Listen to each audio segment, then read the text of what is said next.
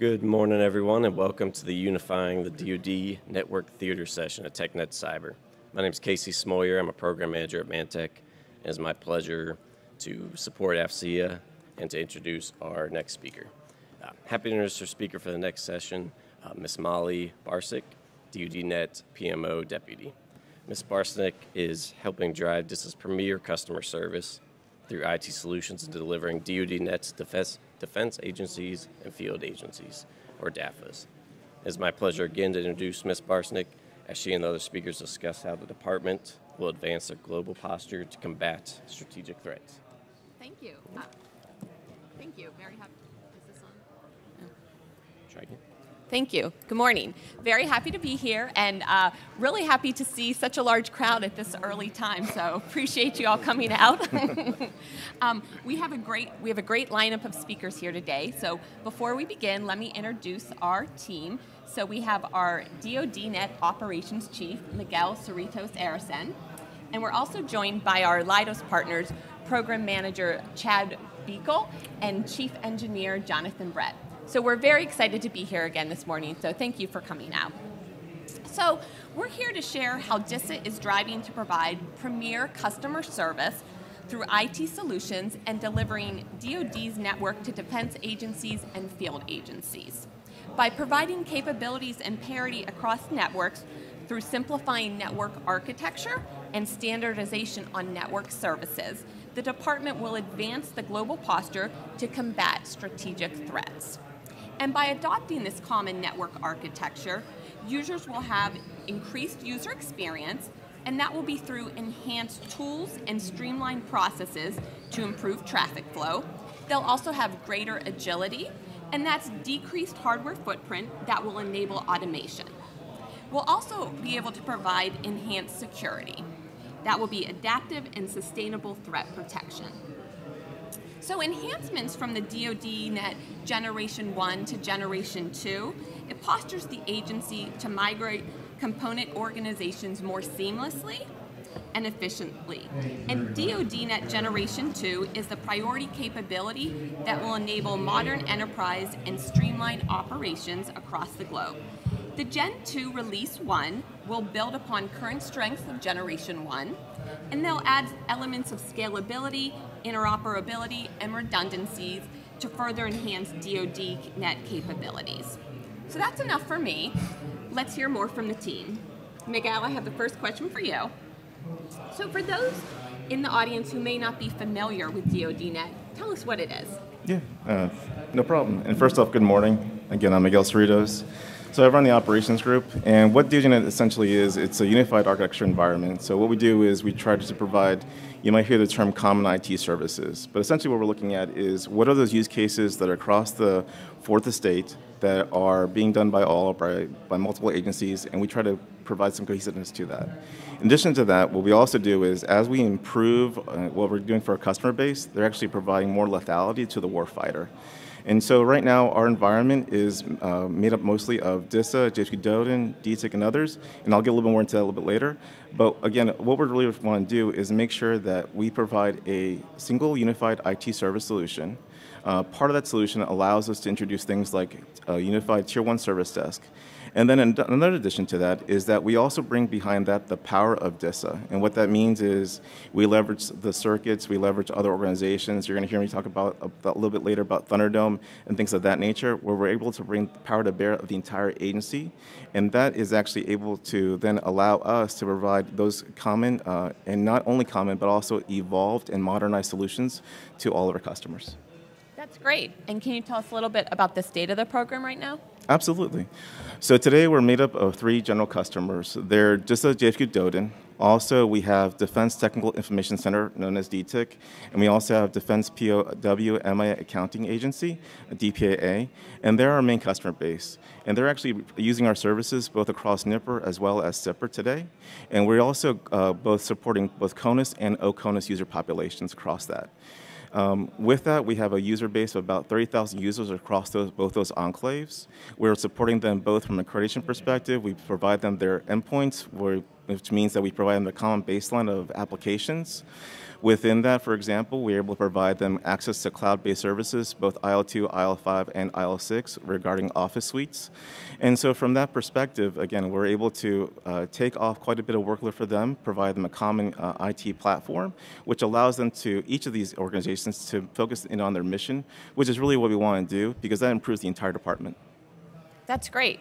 And so, as we continue to work on these migrations, Chad, can you tell us a little bit about um, the benefits that our future migrated customers will see?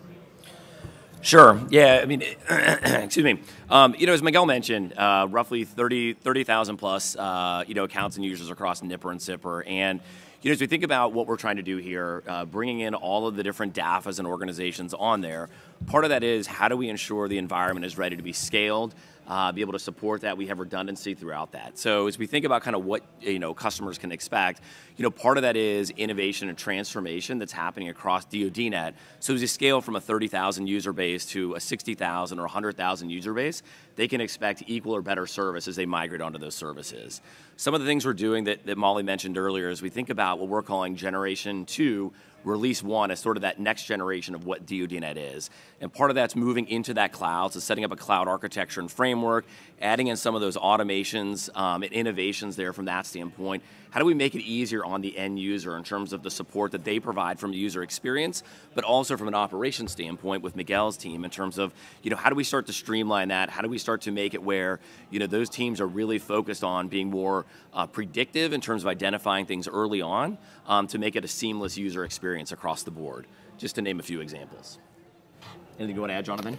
Yeah, so I, I, think you know as we look forward uh, in in terms of adding new capabilities and bringing on uh, the DAFAs, it's really critical that we inject the technology required to be able to scale efficiently, uh, to operate effectively, as well as uh, to provide the services that uh, the DAFAs need to support their mission. Right.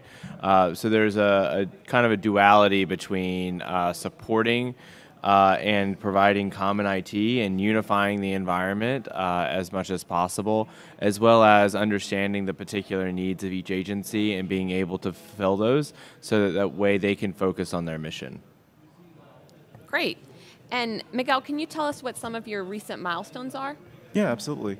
So one of the great things is that we're always growing, and actually we work on the precipice of doing more migrations. So right now we're working with, uh, for example, defense media activity. We're also working with defense contract auditing agencies, defense contract management agency.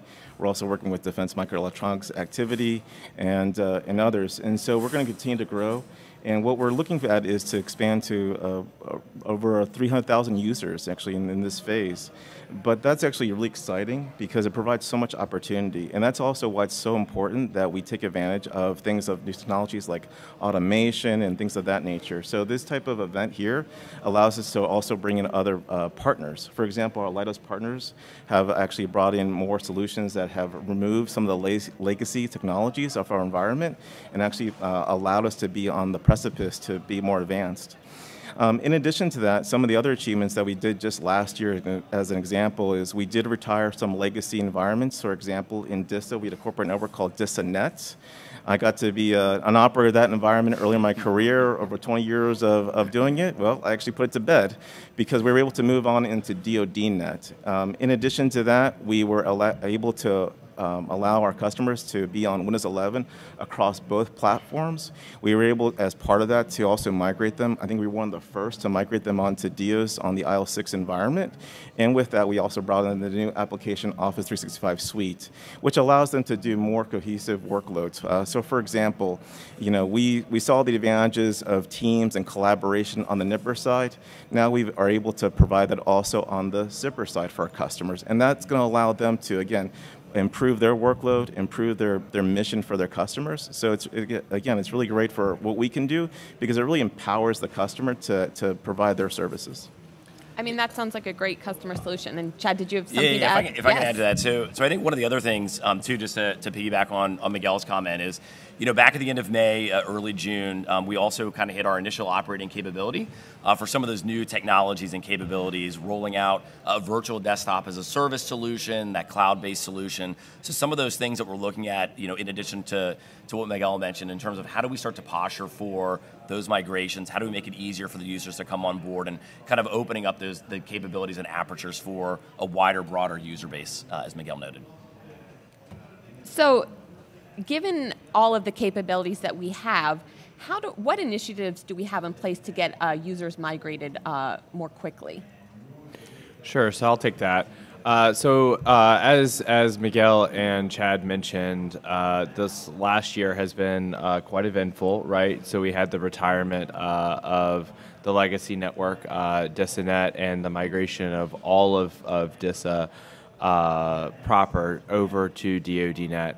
Uh, that was a significant activity. Uh, we took uh, the lessons learned from that and really focused down on a more modern uh, environment. So the, as DoDNet was built, uh, the underlying technology has significantly changed, particularly when it comes to the management of endpoints as well as the management of, of large scale networks.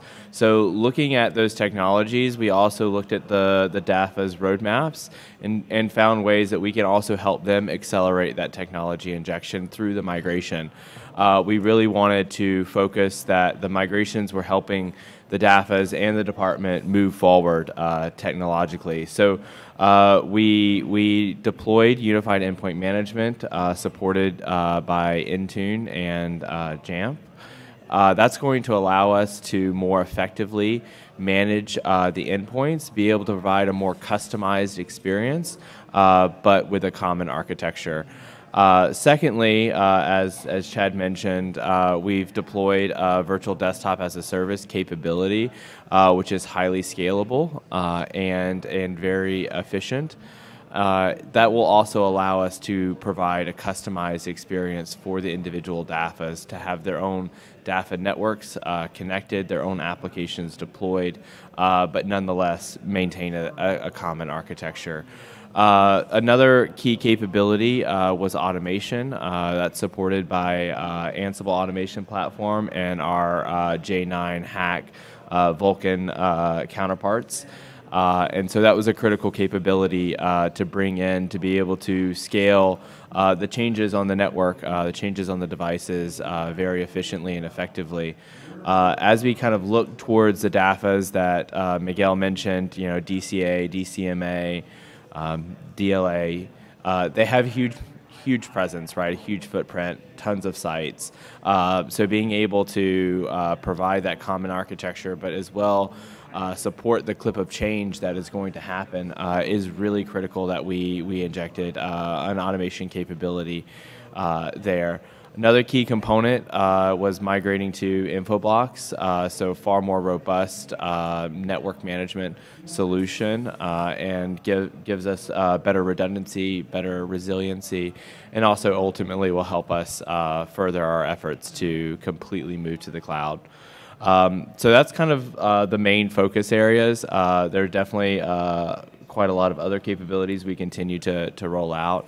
Uh, and now, uh, now that we've achieved uh, you know operational capability for those components, we're, we're looking forward, moving on to to our next release um, here in the near future.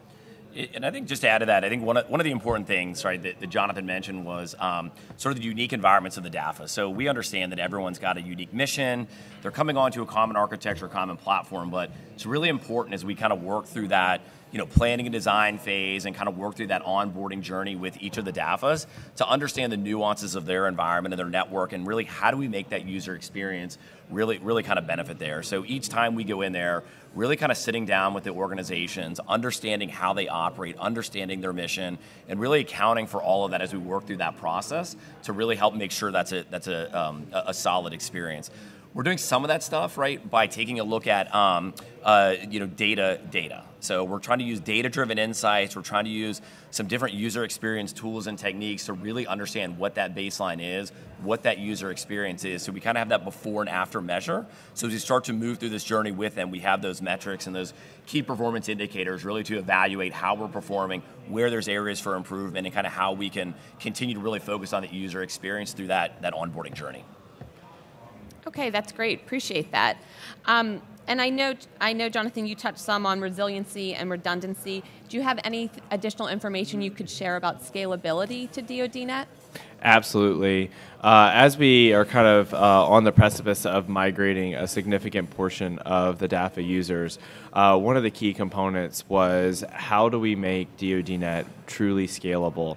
Uh, so the legacy architecture, the on-prem architecture, uh, had the ability to scale, but that scaling was um, challenging, clunky, and also uh, provided you know several operational challenges. So part of our efforts in R2 was in in moving to the cloud was also to allow us to be able to scale not just the physical uh, architecture, uh, but also the actual operations, uh, and that's what's really important is that uh, the capabilities we delivered were not just technology, they were also people and process driven uh, to be able to more effectively operate and manage the environment. That's great. Appreciate that. Okay, one last question. So, if you're not currently scheduled to move on to DoDNet, Miguel, can you still use the DoDNet services? Yeah, the short answer is yes. So uh, that that's the great part of this whole thing is that what we do is we work with each of the customers and we really go through the planning. We want to understand the business processes. We really want to understand how you're doing it. Chad had mentioned the, those nuances. So, for example, when we look at applications, we uh, we want to understand what applications you're using on the endpoints. Those endpoints and those applications we understand are probably uh, accessing some of those mission IT platforms and we're going to support the, the endpoints to be able to do that. In addition to that, we also organize integration planning meetings where we go over things, for example, the network. So there's a form and a prerequisite list that we have on our DNet portal page. We'll actually will walk you through that. Part of that will be so that we can identify points of contact to establish how we're going to actually do the planning with you. Uh, with that information, so for example, when we uh, go over the network piece, our network engineers will work with you to get information, and we'll be able to also bring in other partners across this, uh, such as Thunderdome and others, to understand how we're going to then work over the, the virtual routings and things of that nature. Um, we're also going to talk about what can we do to make sure that those endpoints themselves, when you acquire them, we're going to provide you access to a catalog, which be able to share as to how can you get a better purchasing power for what you're going to buy for your for your, actually your customers, for your uh, your employees and staff members as well. And then we're going to again walk through all that with you so that you have a total package and are part of the process, so that this isn't happening to you, but that, that we're it's more of a team cooperative effort and it's a very collaborative effort along the way. So it, it requires a lot of communication as we're going through each step of the way of doing this. And I, and I think some of the great things that uh, Jonathan mentioned, for example, is virtual desktop as a service, it might allow new opportunities. So, for example, in that service, one of the things that can be done is that you may be able to go and instead of having to purchase a GFE for your employees, you may be able to simply allow them the ability to access a virtual desktop off of their home computer. Now, that may mean for you that you no longer have to pay that extra dollar figure for that single employee, saving who knows how much money for, your, for you and your staff and your organization, which you can then reutilize for other purposes.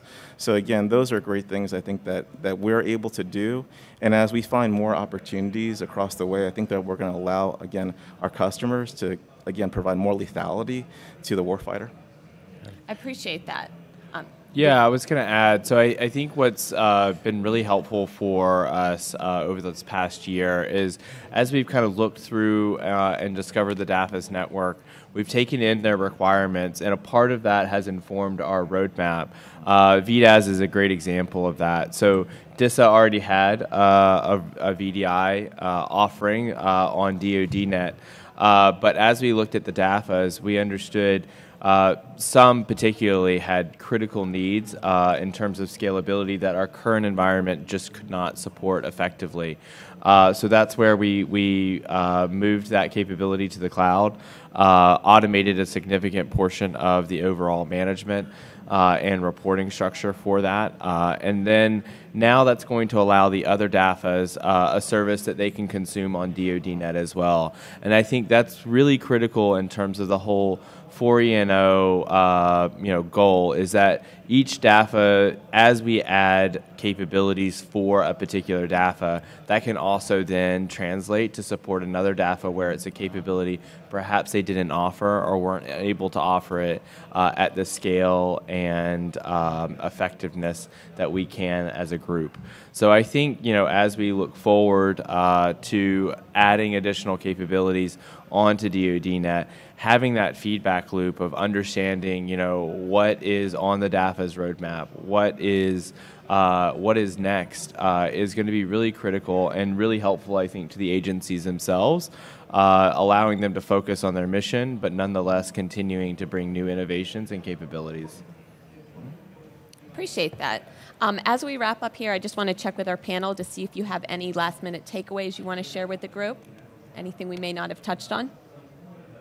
Yeah, I think uh, that every day is a, is a new opportunity, and what we're doing here is just evolving. So when we were looking at the roadmap, one of the things that I think we were trying to iterate was that it was not about one final end state, but about revi revisions. So we talked about generation one, and now we're on the precipice of generation two, R1, which basically infers that we have next steps for R2 and R3. Mm-hmm. And by doing that, just like Jonathan had mentioned, is that what we, what's important is that we listen. And so, you know, on the operations side, we get information about incident tickets or requests and change requests. But as part of the planning side, we also look now at the mission, that's what's happening at the other agencies. And all that information gets colluged together, and we're able to create a, a better roadmap for the future. So even I think uh, what's great about this program is that it's not simply about one single end state, it's about evolution ultimately. And we're able to incorporate uh, new things where they come from the Zero Trust framework, whether they come from Thunderdome, like I said earlier, or Enterprise ICAM, or just those efficiencies that are coming from the JWCC and things that are coming with from DEOS, et cetera, that allows us to grow more and more. And so one of the good, uh, one of also great things is our partnership with the rest of DISA. And our, um, when we do that, for example, I know this is a big place, but we're able to do that. We're able actually to walk through different customers and, and actually say, okay, you actually were working with this organization already. Well, so do we. Let's take that off your plate. We're actually going to, for example, take on the circuits or take on those other parts of it, and again, lighten that load for that uh, that agency specifically, so that they can again continue to focus on what, what's important to them, which is the which is the mission. But again, I think that that ability to evolve, to modernize, to always grow is, is just something that's uh, it's really great for us. I think I think you bring up some excellent points, Miguel. Appreciate that. Yeah, just one, one thing to add to that too. You know, as we look out over the horizon, you know, as Miguel's saying, you know, transparency and partnership is huge, right? As we go out on these on these onboarding journeys with each of the DAFAs, it's really about being transparent with the, with the organizations, kind of what to expect, when to expect it, what to think about in each phase of that process as we work through that journey. And the partnership that Miguel mentioned, obviously within DISA, but also with the DAFA. So, you know, one of the big focus areas that we've had as we've been out there is making sure that it's not just we're uh, impressing upon them, this is what we're doing and how we're doing it. It's we really spend the time to sit down and walk them through it, understand it, and really partner with them, right, along the way. So that way we're starting to thread that between the partnership with DISA and the services there, the partnership with the DAFAs being part of that process. They buy off and sign off on the planning and design work that we're doing. So in each phase, we've got those gates with the DAFAs to ensure there's transparency, there's buy-in across the board. So as we work through that process, it becomes very effective and efficient for those organizations. Yeah, and I think one thing I wanted to add there is one of the things that we are internally working on a lot is there sometimes is the thought of subjective versus objective information. And so analytical data is really important to us. Uh, some of the things that Jonathan spoke about are these tool sets. But part of that journey was that we want to make sure we were able to breed uh, analytical data, and we want to create dashboards such as user experience and things of that nature back to uh, not just to us, but also to the agency. You know, we talk a lot to uh, uh our director about just the importance of live information and making sure it's accessible. Uh, when we first adopted, for example, our um, ticketing system, we were able to create uh, ticketing dashboards for our customers, which they are able to leverage. But that gives you reactive data right after the fact. Now we're trying to figure out how we can get proactive data to you mm -hmm. so that you're able to see that. And that's actually, I think, a big demand is to how do we ensure that tra- transparency is happening all across the through, not just from what happens before the migration, but what happens after migration as part of sustainment as well. And so that is something that we have definitely um, listened to and are developing solutions for uh, each time of it. So I think that's going to be very helpful. Great. Any, anything else you wanted to add, Uh, Jonathan? so just about the data perspective, because that is a that is an area of, of key focus we, we didn't really touch on. So uh, particularly around end user sentiment data uh, has been a, a key focus area to uh, get telemetry data from the the endpoint devices themselves. Uh, so that way we can begin to effectively look at the user experience, understand it, uh, and and look at it from different angles, whether that be users at a particular site, users on a on a particular device, uh, users using a particular application, uh, or have you know particular configurations. Uh, all of that data uh, we've been collecting, and, and as Ma- Miguel alluded to, we have a user experience dashboard uh, that we can customize by DAFA. Uh, that's going to allow, you know, obviously DISA as a whole to look at that and, and improve our service, uh, but also uh, the DAFAs themselves to be able to understand their operational environment. Uh, we're looking at deploying that uh, forward of a migration so that way we can collect a, a very accurate picture before the, the migration as well as after.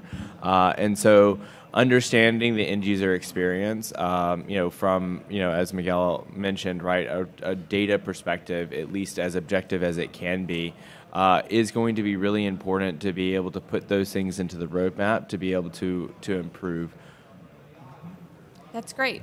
So as we close out today's session, there's a couple of key points I did want to just re-emphasize. So a couple of things that Miguel said that this is an evolution. So um, we're not trying to just reach an endpoint. We're trying to continue to evolve and grow and make this um, the best uh, end user product. So I think we'll continue to see increased growth in those areas. Uh, you know, throughout the evolution of that. And then another point I did want to just reiterate and touch on is the, the, communication and partnership. It really is a communication, or excuse me, it is a partnership with our DAFAs. We work closely with them. We will continue to ensure that we're representing and providing the best product uh, available. And I think uh, those are two key takeaways I just want to drive home before we end today. So um, I'd like to thank our panel here. Thank you for taking the time to speak to everyone. And I'd like to also thank our audience for um, uh, getting up so early and uh, being with us. We really appreciate that. Thank you. Oh, yeah. Yep. And we have a few minutes if we want to open it up for some questions. Yes.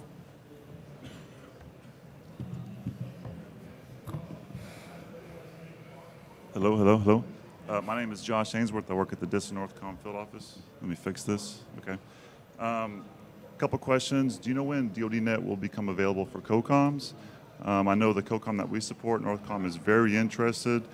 Um, some of their constraints are obviously like budgetary type issues internally, but I was wondering if you could speak to that across the board. Um, also, um, if you could verify like DoDNet, like Thunderdome will be integrated into DoDNet, and I think that's a huge, huge feature. And like, can you speak to that as well? Is it like the pricing structure? Is it is it like just by default included? You have to pay extra for it, stuff like that. Um, and also the tier one support, is it going to be integrated into the global service desk? Um, or is it going to be run under the program? I've heard kind of rumors either way, so I'm just kind of you know, you know looking for clarification. Thank you. So I, I can address your first question, sir, about um, DoDNet being added to the COCOM. So um, our best estimate due to the acquisition strategy would be um, uh, fiscal year 26 is when we would be looking at that. Yeah, I'll take the questions about Thunderdome and things of that nature. So for Thunderdome, yes. What we do is we just integrate as part of our, of, of our architecture inherently. So when you get our service and you get our network services, we actually do deploy the Thunderdome technologies themselves. So the Versa boxes and all the rest of it, we, we work with them. In fact, we also take that information from the site. So if it's uh, potentially legacy, we'll already have it, or if we work with the mission partner POC, to then translate the information back to Thunderdome. And we'll also bring Thunderdome directly to the table as well, because they want to be at the table and go over the migration schedule. And so that, that allows that, again, that I think more seamless transition to the new technology. We actually were able to migrate uh, not just our headquarters, but I think also DBA's headquarters and other various locations. We have, I think, next month I was looking for August, I think three more migrations happening scheduled. So we're continually growing and expanding Thunderdome on both classifications, NIPR as well as SIPR. And for your question about tier one services, so what we do is we do leverage the global services tier one. Uh, that tier one is a common platform service. And then what they're able to do as a result of that is that they are able to also leverage and go into other mission partners, other environments, so that they're able to bring more cohesion as to that resolution. So for example, if you did have, uh, as, a, as a customer, had a ticket, and the ticket was having to do with perhaps an email situation, that tier one manager and that tier one service desk operator will be able to know, okay, this issue actually is going to be best provided by the by the DO service desk, and they're going to provide a more rapid response to it. So even if the issue may not inherently be with us, because we do provide that common platform, it allows that service desk member to be able to translate that information to the proper group for a quicker time of resolution. And one of the things that we do look at right now is like, is really speed, speed of uh, time to resolution, speed of request, things of that nature. So we really want to continue to do that and foster that.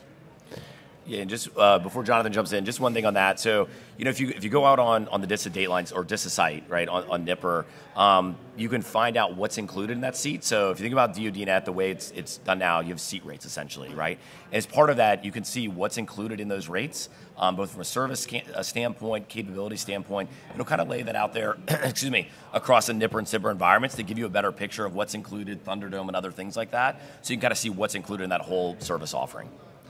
Yeah, to add a little bit uh, around this is zero, zero trust strategy and DoDNet. Uh, so as Miguel mentioned, right, uh, as a part of the DoDNet uh, capability, we are deploying uh, Thunderdome uh, or the zero trust solution. in terms of migration strategies, leaning forward and deploying the SASE and SD-WAN capability uh, to be able to provide DAF and NET connectivity to the endpoint as well as point-to-point connectivity uh, to any other uh, site on DoDNet is one of the first things that we are doing uh, as a part of that network migration. Um, so Thunderdome is an integral part uh, to the overall DoDNet strategy. And as Miguel mentioned, you know, integrations either with DEOS or ICAM or J9 uh, it's really uh, you know all of DISA uh, strategy uh, and bringing those capabilities together uh, to be able to provide you know the best uh, best offering, best service, best in class. Yeah, and I, think I didn't. I forgot to pat ourselves on the back. But one of the things that we did, for example, recently is we actually deployed the, the SASE agent. Mm-hmm. So right now, if you acquire our service, uh, part of that service actually already includes as part of the baseline that SASE agent. There's nothing additional to be done. You just can acquire service, and you get that right out of the box. Okay, okay great. Any additional questions? Okay. Well, I want to thank everyone for coming out today. We appreciate your time, um, and please let us know if you have any questions afterwards. Thank you. All right. Thanks.